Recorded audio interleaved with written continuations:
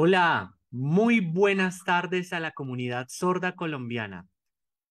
No solamente a la comunidad sorda colombiana, sino a todas las personas que nos están viendo en el exterior.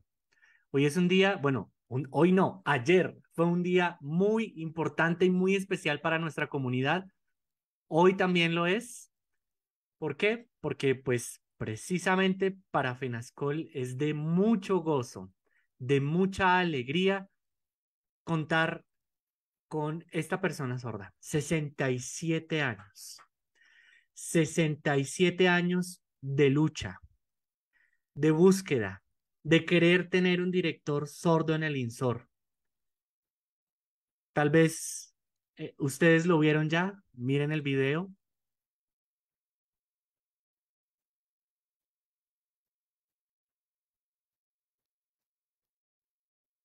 Aquí está la firma de su toma de posesión en el cargo, súper emocionante. La comunidad sorda ha luchado este espacio durante 67 años, tener este director sordo. Esto nos recuerda la lucha del Deaf President Now, del tener un rector sordo en la Universidad de Gallaudet, del estar cansados de recibir eh, las instrucciones desde ese, de una rectoría o de un cuerpo colegiado oyente que realmente no escuchaba esas necesidades de la comunidad y tras hacer esa marcha, tras hacer esa incidencia, se logró allá, pues acá se ha logrado algo parecido. Después de la incidencia, después de la marcha de las personas sordas, de muchas cosas, hemos logrado ese director. Giovanni, muy buenas tardes, bienvenido director. Hace muchísimos años lográbamos esto, se buscaba esto y eh, la carrera de Giovanni no ha sido de, de, la noche a la mañana. Empezaste en Sordevoc, has ido escalando muchos espacios. Desde Sordevoc, pues estuviste allí trabajando y previo a Sordevoc también viendo el ejemplo de los sordos, ¿no? Yo recuerdo ese campamento de jóvenes sordos, ¿no? ¿Lo recuerdas también? 20, perdón, no, 2002. No, eso fue en 2002, 2002, exactamente. Mire, la foto.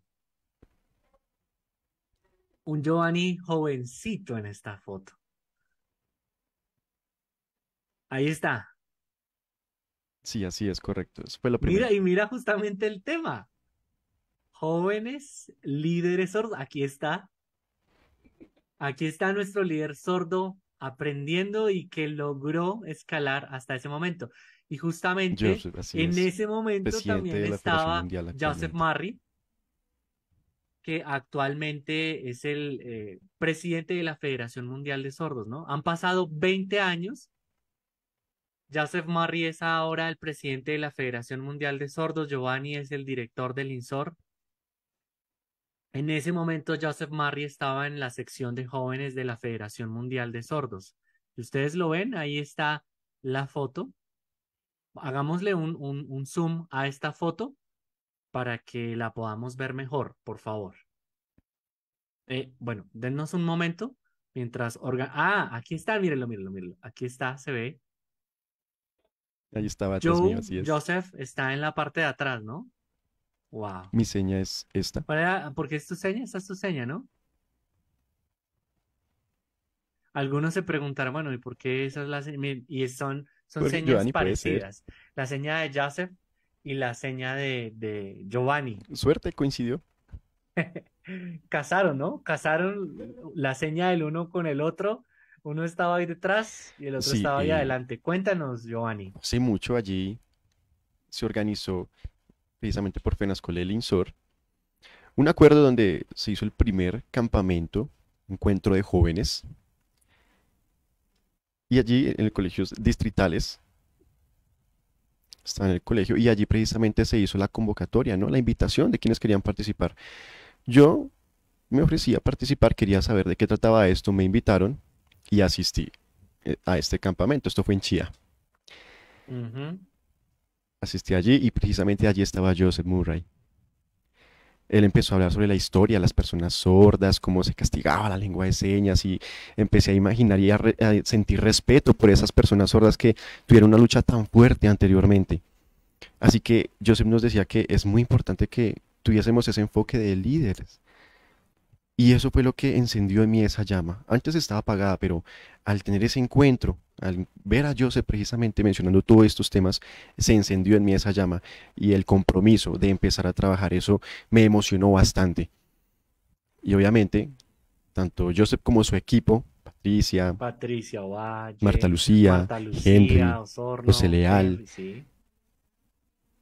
la Asociación de Jóvenes también, Daniel y demás que también estaban allí, ver todos estos ejemplos me incentivó a pensar que también podía y bueno, después pasé al colegio distrital Jorge Eliezer Gaitán y allí empecé también a gestionar como un joven líder, a dar propuestas y a crear también el comité de jóvenes de Bogotá, que tenía esta seña anteriormente, y allí empecé a gestionar, obviamente. También desde Sordevoc empecé a, hacer gestiones eh, para esta asociación y bueno, precisamente todo eso fue gracias a Joseph Murray. Así es, y es que justamente queremos invitar en este momento a Joe, que nos está acompañando. Joseph Murray mantiene supremamente ocupado viajando por todo el mundo. Hoy lo pudimos. Un saludo y un este abrazo, Joseph. Bienvenido, Joseph. Gracias por acompañarnos en este momento tan importante para nosotros. Queremos aprovechar para hacerte una pregunta. En el 2002 tú viniste acá a Colombia a hacer este tipo de formación y ahora ves a Giovanni como el director del INSOR. ¿Cómo te sientes tras ver este proceso? Bueno, la verdad me siento muy contento, muy feliz de ver que ahora Giovanni Melendres es el nuevo director del Instituto Nacional para Sordos me produce muchos pensamientos, pensar en la importancia de la educación para las personas sordas. El formarlos también, en guiarlos a que sean esos líderes, en pensar en que se pueda tener esa buena educación para la niñez y la juventud sorda. Y que esta educación, pues efectivamente sea en lengua de señas, en lengua de señas colombiana, para todos los niños sordos. Miren que Giovanni es el resultado de eso el resultado de una formación, el resultado de una formación en liderazgo también. De tener buenos líderes allí. Y lo otro que veo también es la importancia de poder contar con los jóvenes sordos, que los jóvenes cuenten con esos espacios de diálogo, espacios en los que conozcan de otros líderes. La verdad es que me emociona mucho recordar ese momento de hace 20 años eh, darle las gracias a Henry por la invitación que me hizo en ese momento, de poder estar allí y poder estar en la formación en este campamento de jóvenes, donde nos conocimos pues justamente con Giovanni, ir viéndolo durante estos años y ver que en este momento él es ese líder que también está dándole ejemplo a los niños sordos del país.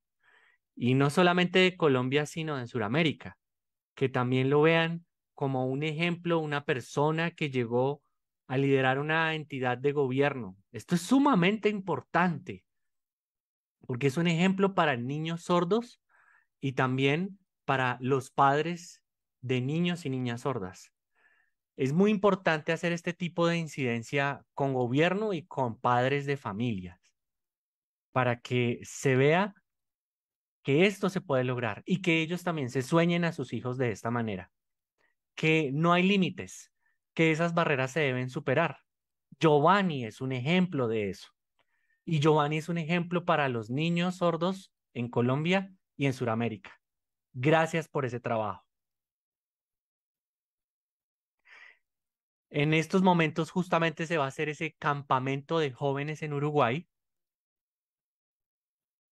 ese campamento de jóvenes en Uruguay busca esto mismo, busca el poder encender esa llama, esa herencia con los jóvenes sordos, que se fortalezcan, que se fortalezca la comunidad sorda y que florezca nuestra juventud, florezca en esta clase de liderazgos como lo encontramos en Giovanni. Gracias, Henry, por tu trabajo por lo que tú has hecho para que efectivamente estos liderazgos se den, para que florezcan estos liderazgos. Eres un líder que ha mostrado eso allí en Colombia. Y qué bueno que esto en Colombia sea como una nueva era, un, un nuevo día para mostrar esa juventud, esta enseñanza que se debe dar a la juventud. Muchas gracias a ambos. Gracias. Gracias, Joseph. Eh, antes de, que te vayas, quisiera hacerte una pregunta y es acerca de la importancia de la educación con, con la niñez, los jóvenes, ¿no?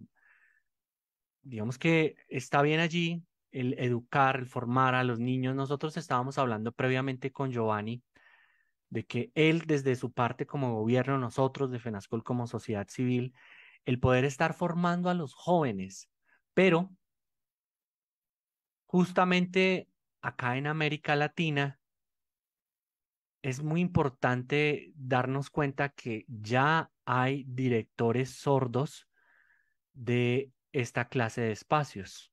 Hoy justamente en la mañana estábamos en una reunión con Pamela Molina, con Julio Bamacá, con Julio Bamaca, y estábamos hablando acerca de la niñez y la juventud.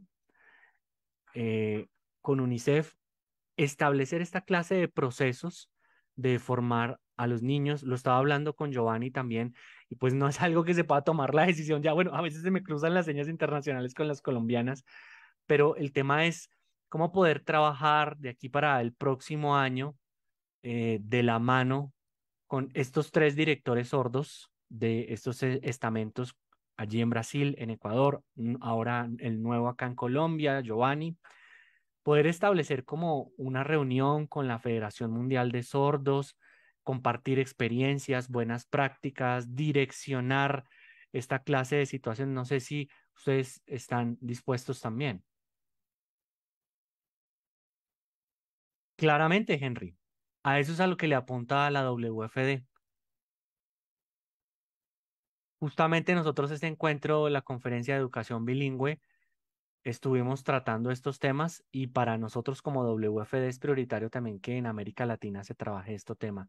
Nosotros tenemos a través de nuestra directora ejecutiva, eh, Pamela Molina, el que se pueda hacer este trabajo allí en la región. Y tú como eh, el secretario regional para Sudamérica o el otro secretario regional para Centroamérica, es el seguir trabajando estos temas contigo, con Julio, y de que esto pues se logre para más adelante, se siga trabajando para más adelante. Perfecto. Sí, claro que sí. ¿Parece, perfecto. Giovanni? Yo pienso que comprometernos ahora, bueno, eh, no se podría hacer. Eh, hasta el día de ayer tuve mi posicionamiento, así que eh, no podría decirlo con tanta rapidez. Hay que primero organizar, hacer los planes. Primero el plan estratégico de los cuatro años de esta administración, que va ligado al plan del gobierno del presidente Gustavo Petro. Y a su vez al plan del ministro de Educación, Alejandro Gaviria. Entonces, de esa manera, planeamos estos cuatro años, precisamente pensando en la educación de los niños, la formación de ellos, de los jóvenes, en esas trayectorias completas que queremos lograr y también con los padres de familia, articularlos con la familia y esos diferentes lineamientos que vienen desde el gobierno, poderlos analizar y poderlos ejecutar. Obviamente pensamos, no eh, lo damos por sentado ya, pero si queremos implementar, por ejemplo, el decreto 1421, perdón, nuevamente repito, decreto 1421, donde allí pues obviamente se especifica el tema de la educación para las personas con discapacidad. Y de entre ellos se destaca la educación bilingüe o la oferta bilingüe y cultural. Queremos hacer seguimiento a este decreto. Ya llevamos cinco años de implementarlo. Entonces ya queremos ver cómo va, qué cambios hay que analizar, hacer una evaluación, un diagnóstico de este decreto y mejorarlo y hacer un seguimiento de, estos, de este decreto en los próximos cuatro años, dando un buen cumplimiento y una buena implementación de la educación bilingüe no solamente con los niños, sino también desde la primera infancia, que haya una articulación en un tránsito armónico de educación hasta la adultez. Y así tener el progreso, el desarrollo como tal bilingüe de las personas sordas. También esto va ligado a la familia, cómo podemos aportar a la familia para que ellos puedan estar allí, porque de hecho, el que yo esté hoy en cargo de dirección es precisamente a cambiar ese paradigma, esos pensamientos de que las personas sordas no pueden, sí se puede, Así que en estos cuatro años vamos a mirar y hacer seguimiento de este decreto. posiblemente, no solamente este decreto, sino que se quiere cambiar algunas cosas, dependiendo también de el Ministerio de Educación, si se puede hacer o no, de crear una nueva política pública al respecto. Pero bueno, lo veremos en estos cuatro años. Perfecto, Giovanni. Y además de eso, eh, nos interesa mucho ese trabajo que se puede hacer de manera mancomunada entre FENASCOL, el y la WFD, ¿no? De estos tres estamentos seguir trabajando por el desarrollo de la comunidad colombiana. Muchas gracias, Giovanni. Muchas gracias, eh, Joe. Sabemos que eh, estás de afán, sales para el aeropuerto también. Gracias por acompañarnos. Gracias, muchas este gracias, Joseph. Un abrazo y nos vemos después. Gracias. Muchas gracias otra vez a ustedes. La verdad es que me voy muy contento de verlo a Giovanni eh, ahora como director y que sea un ejemplo para muchos. Que nos visualicemos para futuro, un futuro más positivo, un futuro en el que la comunidad sorda colombiana pues se desarrolle mucho mejor y no solamente en Colombia, sino en América Latina. Sigamos trabajando. Gracias. Adiós. Muy bien, muchas gracias. Joe ahora tiene que salir para el aeropuerto, mm, viaja para Noruega, nos ha regalado este tiempo muchas para gracias, nosotros, así que bueno, muchas gracias. Quisiera continuar conversando contigo, Giovanni, sobre otros temas. Tú sabes que la comunidad sorda venía con este sueño, con esta lucha de que se tuviera una dirección de una persona mm. sorda en el INSOR. ¿Cómo te sientes? No, no, sé qué decir, no, no, es como... se queda uno sin que no lo puedo creer. Total. De verdad, yo, yo soy el director, en serio, ya, ya se formalizó. No, no, eh, cuando cogí este esfero, que todos lo vieron allí en el video, que yo cogí este esfero y lo mostré al público y firmé que ya se hizo formal, fue algo muy emocionante y lloré.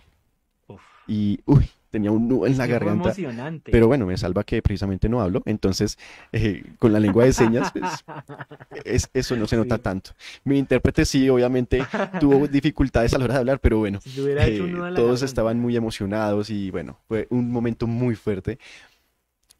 Pero pues obviamente se muestra ¿no? a la comunidad sorda que el pensar que no puedo hacerlo, hay una barrera y, y ya, me rindo. No, hay que buscar las soluciones, las alternativas, hay que luchar y todos podemos lograrlo. Por eso la frase que dice que no hay barreras que nos dificulten todo. Sí se puede, podemos buscar alternativas diferentes. Y por eso lo mismo que acaba de decir Joseph, o sea, ¿será que podemos? Sí, claro que se puede. Y eso es lo que queremos compartir para todas las personas a nivel nacional. También quiero, primero que todo, eh, agradecer a quién? Primero que todo a mi familia. Es lo primero, es lo primordial. Mi familia. Mi mamá, mi madre es madre soltera, es muy berraca. Ella no se rindió ante las dificultades, las barreras. Si le decían que no, ella buscaba las alternativas. Gracias a mi madre principalmente. También a mi esposa, Jenny. Su nombre es Jenny, esta es su seña. Ella le agradezco el apoyo que me ha dado y ha sido fundamental. Sin ella, la verdad, no sabría qué hacer. Sí. Sí, 15 años ya llevamos juntos, bueno, desde que yo era líder, así que... Durante todo este tiempo. Ella me ha estado acompañando todo este proceso y ya después formalizamos nuestra familia y nació nuestra hija, Noah, Noah Salomé. Y ella es muy especial para mí, es mi hija y entre los tres formamos esta familia junto a mi mamá y es algo que llevo siempre en el corazón y en mi mente. Gracias a ellos por ese apoyo que me han dado primeramente a mi familia. También agradecer al gobierno, al gobierno nacional, aquí precisamente este cambio que hubo donde eh, este equipo directivo, así es, el presidente Petro, también la vicepresidenta Francia Márquez, el ministro de Educación Alejandro Gaviria, mis respetos especiales para él, mi gran amigo, y también Arturo Charria, quien es miembro del equipo directivo del Ministerio de Educación a ellos muchísimas gracias por depositar esa confianza en mí y elegirme como director. Un especial agradecimiento para ellos. Y tercero, y por último ya para acortar mi intervención, es muy importante que, bueno, ahora que estoy en este cargo y anteriormente, eh, hemos pensado en tres pilares fundamentales. La familia, que es quien nos apoya todo el tiempo. La educación bilingüe, que es fundamental para el progreso de las personas y gracias a estas instituciones que han dado esta oferta y las diferentes didácticas y procesos para poder tener esa formación. También las personas sordas adultas que con el relacionamiento con los niños ayudan a ese proceso y a la construcción de la educación en Colombia, no solamente eh, en la lengua de señas, sino también académicamente. Esa formación eh, es muy importante, crear ese conocimiento en el cerebro, entender esos conceptos es muy importante. Y el tercero, la comunidad sorda es precisamente lo que estamos haciendo actualmente. Penascol, las organizaciones, Sordevoc, precisamente anteriormente lo que mencionaba Henry, allí fue donde se empezó ese proceso de liderazgo, la familia, la educación y posteriormente, ¿quién? Allí mismo en el colegio, ese contacto con el modelo lingüístico, el sordo adulto, eh, Vladimir, Daniel, que me dijeron, hey, puedes participar en la asociación de Sordevoc, ingresar allí y ver a las personas eh, sordas, adultos, cómo se relacionan entre sí. Eso creó ese proceso y esa ansia de ser líder. Luego fui miembro del comité directivo de Sordevoc, posteriormente presidente. Y bueno, como tú lo sabes, ya anteriormente los dos peleábamos bastante, ¿cierto? sí, claro. Peleábamos, estábamos en desacuerdo muy duro. exigente, Giovanni. Y al mismo tiempo pues teníamos esas discusiones, pero pues yo también estaba, eh, tenía el punto de trabajar en INSOR. Así que agradecí mucho ese proceso de trabajo aquí en, FENASCOL y ingresé a trabajar al INSOR, entidad del gobierno. Además de eso, quiero agradecer también al equipo interno de INSOR, a mis compañeros oyentes y sordos que trabajan día a día conmigo, con quienes me relaciono, gracias a ellos, y a la exdirectora Luz Mari también, quien fue una líder allí y que vio en mí ese proceso también, en donde depositó esa confianza en mí y donde empecé a trabajar allí con mis compañeros, a generar estas ideas y a tener todo este proceso hasta el día de hoy. Y hasta el día de hoy también algunos compañeros que continúan conmigo en INSOR, un abrazo y un saludo muy especial. Continuaremos trabajando articuladamente en beneficio de la comunidad sorda. Así es. Ustedes ven que todo esto es una cadena.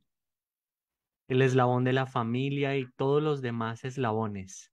Si un eslabón se rompe, esa cadena se cae. Cada uno de esos eslabones son sumamente valiosos. Y como Giovanni lo decía, el tema de las asociaciones también es muy importante. Porque desde afuera se piensa y se dice, bueno, ¿y qué? ¿Y las asociaciones para qué sirven? Eso no, no da nada. Pero aquí nos damos cuenta de la importancia y de lo valiosos que son las asociaciones, del conocimiento que hay allí. Por ejemplo, si las asociaciones no existieran, no existiría tampoco FENASCOL. Y si FENASCOL no existiera, el tema, por ejemplo, de la ley 324 no se hubiera podido gestionar. Muchas cosas no se hubieran podido gestionar y esos eslabones no existirían. Todo esto es una cadena que va sumando y que va llevando a lo que eh, estamos hoy. La Federación Mundial de Sordos tampoco existiría. Porque sí, así es. Quería agregar eso también. y es que es muy importante ese tema también. Anteriormente, como mencionamos en el Consejo Directivo de FENASCOL, hablábamos bastante y bueno, él, también me escogió para participar allí en la Federación Mundial como delegado. Y eso significa que era el representante de FENASCOL allí y de la comunidad sorda. Eso fue en Turquía. Así que asistimos allí, dimos nuestras ponencias, participamos y en Colombia mostramos los aspectos positivos que teníamos y pues representar a Colombia eh, a nivel mundial también fue un proceso muy positivo, a nivel de Latinoamérica también. Eso significa que el estar allí y ver esas diferentes formas sociales en donde se tienen esas cadenas tan importantes y verlo cómo se articula también aquí como con el Estado eh, es lo que nos permite dar respuesta a las necesidades de las personas sordas. Y es que tú cuentas la experiencia de estar en ese congreso de la Federación Mundial de Sordos allí en Turquía. Bueno, ¿cómo fue? Estar allí fue como abrir la mente. Eh, antes tenía como un, panorama muy cerrado y cuando estuve allí fue muchísima información de diferentes personas profesionales sordos en sus ponencias. Algunos que ya teníamos procesos similares, otros que habían cosas muy interesantes para destacar. Y ese relacionamiento, ese compartir con todos estos líderes sordos, sirvió para compartir esas experiencias y ese acercamiento humano también con ellos. Teníamos desacuerdos y demás, pero aún así nos articulamos para realizar eh, todas estas sinergias. Así que el último día, en la asamblea de la WFD, la agenda fue muy estricta y sellaron muchos acuerdos que se fueron aprobando uno tras otro. Esa asamblea era muy grande y pues fue algo muy impresionante ver esa organización y aprendí mucho de allí. Pues, ¿qué es eso? Cuando yo he estado en los congresos, en las asambleas de los congresos de la WFD, he aprendido muchísimo y muchísimo frente a lo que es como esa disciplina y el mantenerse. Sí, es diferente cosa la que cultura. quizás acá en América Latina todavía nos falta mucho. Allá hay mucho esa disciplina y el estar apegados, ¿no? La experiencia que da esta clase de espacios para el movimiento asociativo, pues nos demuestra que, es muy, que son muy importantes. Desde afuera muchas veces existen muchas críticas, pero los invitamos a que hagan parte del movimiento asociativo, que estén allí. Y es que justamente cuando nosotros organizamos este octavo Congreso Nacional de la Situación de la Persona Sorda en Colombia, una persona sorda nos hacía muchas propuestas yo le digo, bueno, ¿y tú a qué asociación perteneces? Dijo, pues ah, mm, la verdad es que eh, yo pertenecía a una asociación, pero me salí. Entonces, yo le hay que pertenecer a las asociaciones y buscar el cambio desde allí. Hacer una buena, un buen proceso de incidencia para la transformación, incidencia para el cambio. Muchas veces los mismos directivos de las juntas ah, no están permitiendo esta clase de cambios nosotros como FENASCOL estamos buscando que existan estos cambios, que se dé el espacio a la participación de jóvenes, de mujeres, de todos, que todos puedan estar allí, que todos puedan opinar y que entre todos construyamos una mejor Colombia. En este tema es en el que nosotros queremos trabajar. Sí, eh, agregando a esto también, yo pienso que cuando tenemos opiniones contrarias, eso es normal, es totalmente normal. Exacto. Pero hay que buscar la forma de dialogar y construir. Sí, tenemos posturas diferentes, está bien, pero es importante dialogar, aportar mutuamente y así construir. No solamente centrarnos en nuestra postura, yo estoy bien y tú estás mal, no. E, eso no, no funciona. Eh, si hay desacuerdos, hay que buscar la manera de llegar a un, acuerdo. Por ejemplo, el presidente Gustavo Petro dialogó hace poquito con el gobierno anterior y dialogaron, conversaron en temas de, por ejemplo, eh, en este momento el gobierno, el lineamiento es trabajar sobre la paz. Y asimismo nosotros vamos a trabajar sobre la paz. Claro, no significa que entonces eh, tenemos que ser todos iguales, no, hay que dialogar, hay que conversar, construir y fortalecernos mutuamente. Y es que eso es muy importante, porque se deben abrir espacios para el diálogo, no solo para la crítica y crítica quizás peyorativa, con malas palabras, sino que sea un espacio de diálogo para la comunidad y que la comunidad pueda estar unida. Esta unidad es la que hace una mejor comunidad. Claramente, como Giovanni lo decía, cada uno puede tener sus posiciones, nadie es perfecto, no van a haber situaciones perfectas. En eso estoy totalmente de acuerdo con Giovanni en que se puede estar en desacuerdo, pero la cuestión es que eh, se den esta clase de espacios Ahora te quiero dar un abrazo para todos, que nos están viendo a esta hora del día, más o menos unas 150 personas en nuestro en vivo. Y es mostrar que existe este espacio para el diálogo y que va a continuar de ahora en adelante.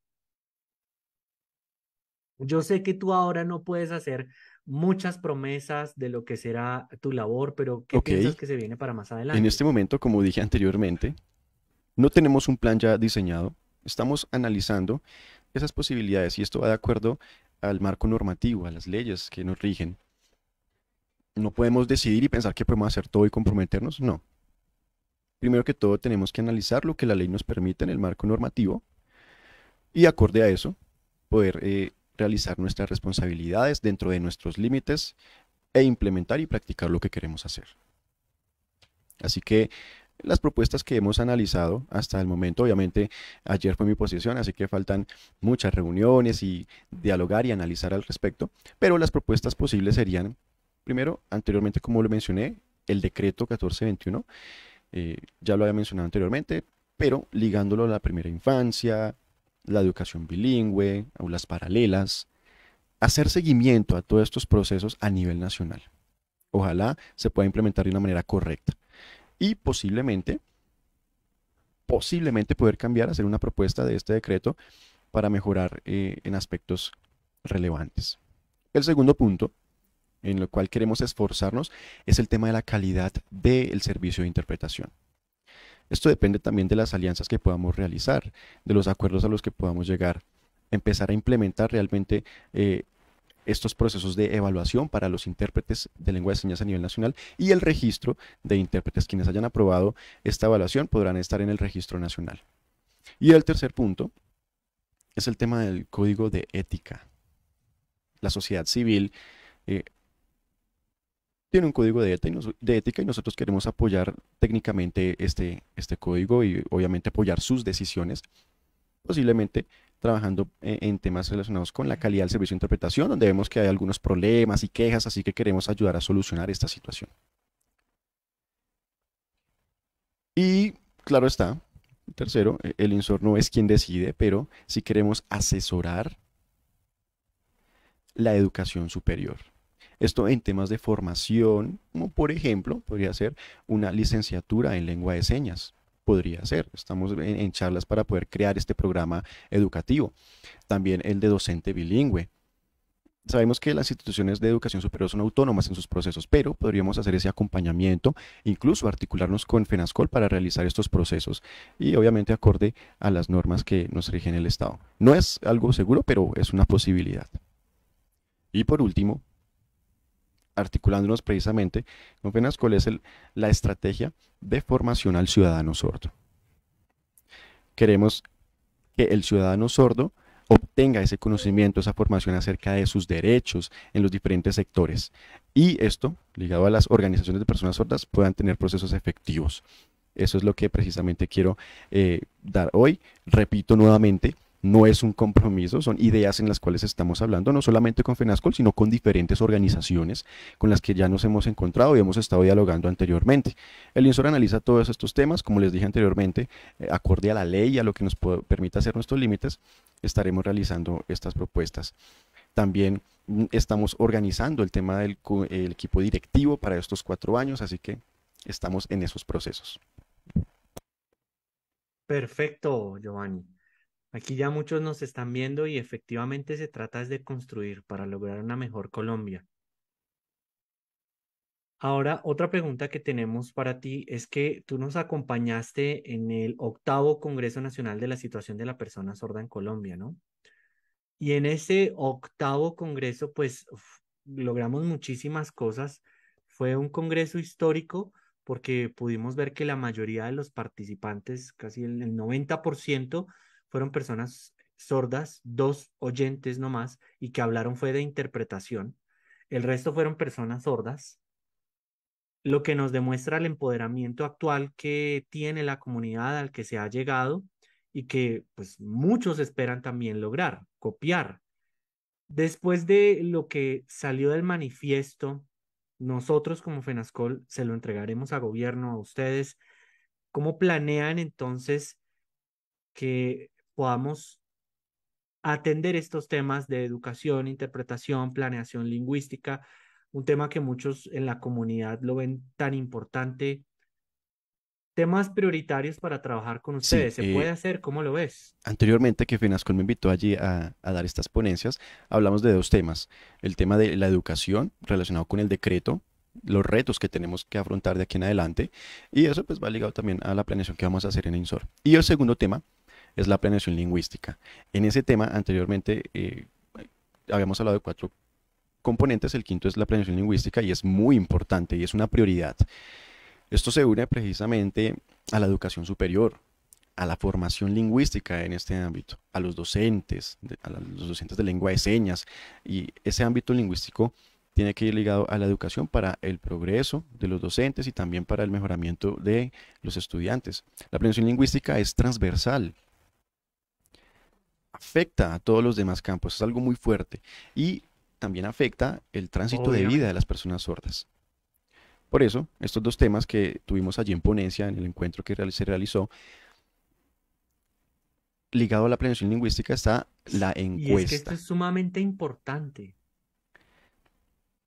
Un profesional sordo, Jesús Monroy, estuvo allí hablando sobre este tema y explicando sobre lo que queríamos hacer respecto a esta encuesta.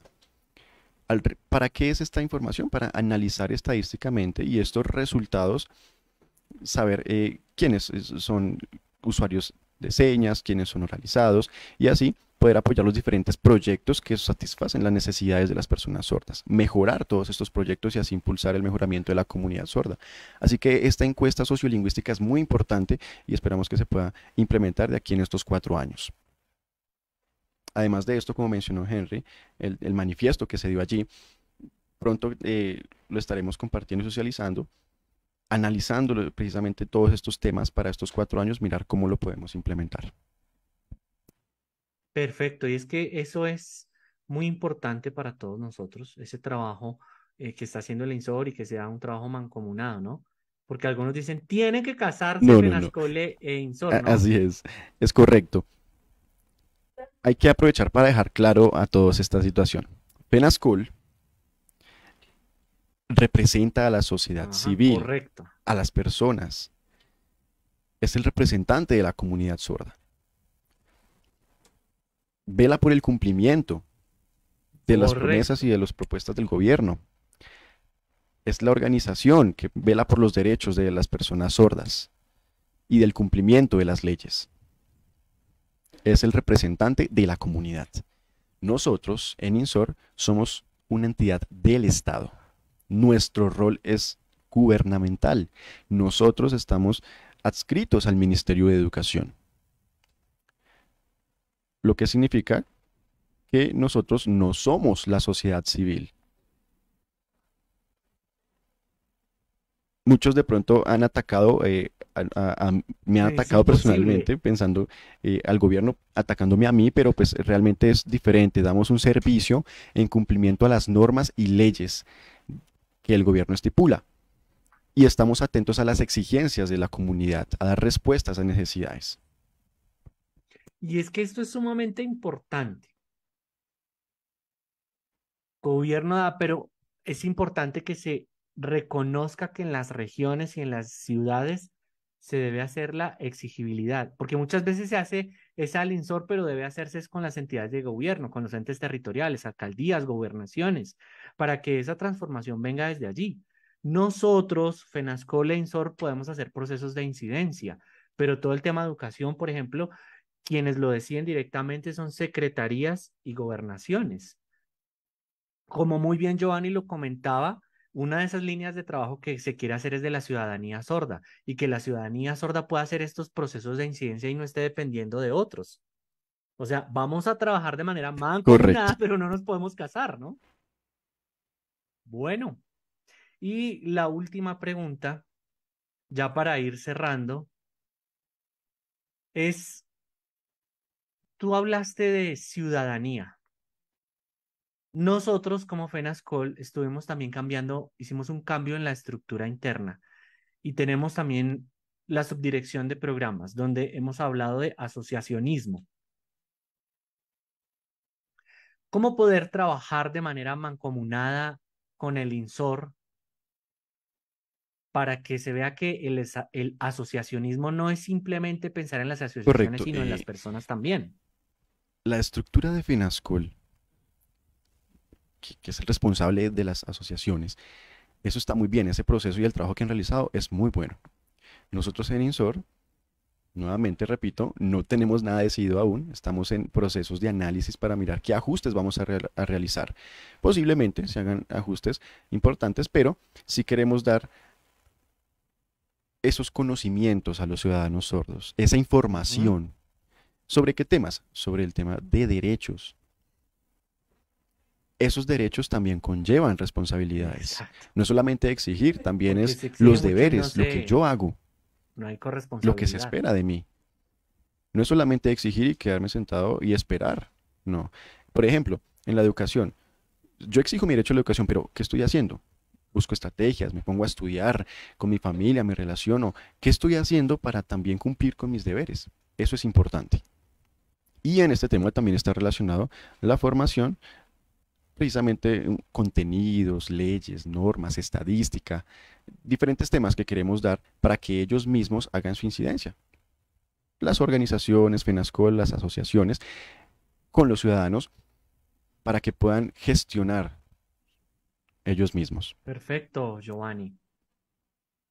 ya nos toca ir cerrando por cuestiones de tiempo.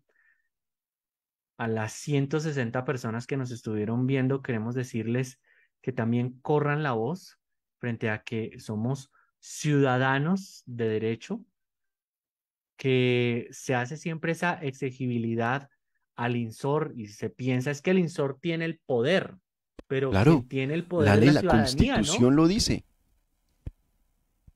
La persona tiene sus derechos y eso es constitucional. Quien tiene más poder es la misma ciudadanía.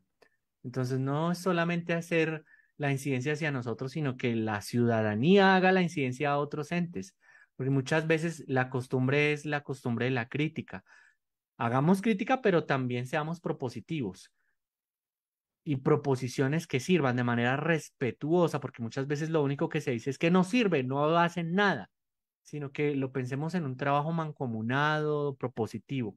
Muchas gracias, Giovanni, por estar con nosotros. Felicitaciones, señor director. De verdad que nos pone muy contentos a la comunidad sorda que se logre esto por primera vez. Generará mucho impacto. Yo espero que no solamente sea en esta ocasión, que sea el único sí, así es, es, normal, posiblemente finalicen mis cuatro años y otra persona. personas sordas. Que esto se pueda mantener, tener directores, directoras sordas allí en el INSOR, como en el INSI, el Instituto Nacional para Ciegos. Su director, sus directores han sido personas ciegas.